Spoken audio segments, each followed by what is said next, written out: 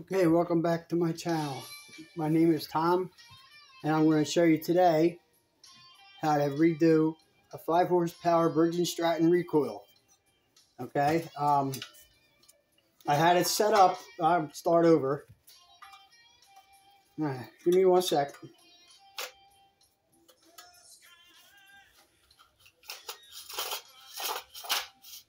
Okay, there's your string, there's the recoil.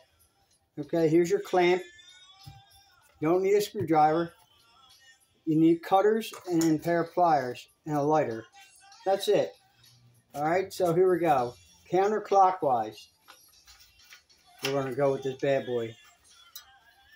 Eh, maybe you do need a screwdriver. Just go like this.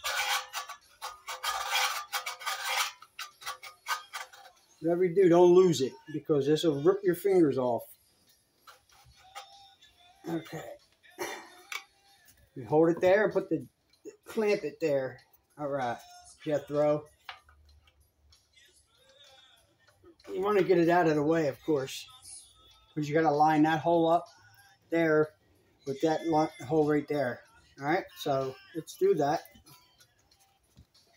Stand up a little bit here. That should be close. All right take your string. Um, it has wax in here, so what you want to do is light the tip.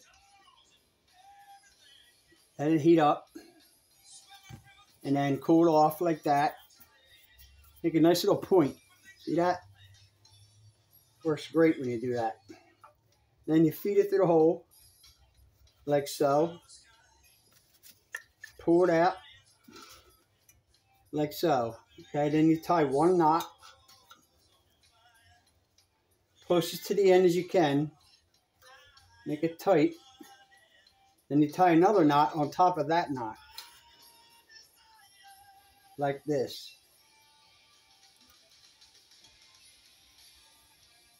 And you tighten it up. That's it. And you push it in. Like so.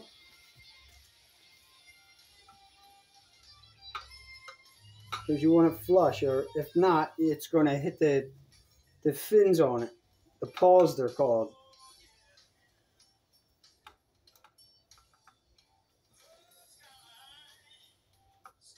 Just tuck it in there like that, best way you can. Like that, right? All right, and hold this right here, and you release the clamp. Hold the rope because it's going to really come back. And voila.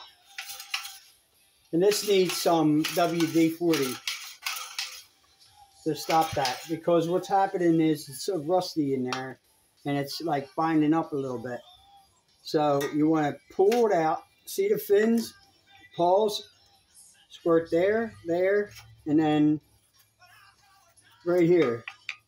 There's like a, where you see the, the recoil itself. The band. All right? And that's it. Thanks for watching. Please hit the subscribe button. It helps me make more videos like this one. Have a great day.